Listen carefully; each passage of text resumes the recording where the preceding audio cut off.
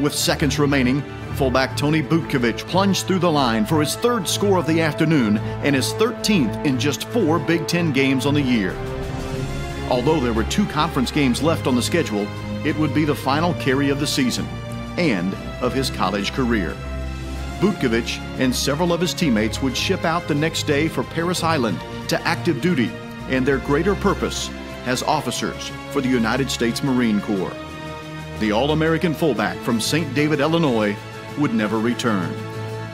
Tony Butkovich was killed at the Battle of Okinawa in the final weeks of the war in the Pacific. But for one glorious autumn, in the fields of west central Indiana, there was perfection.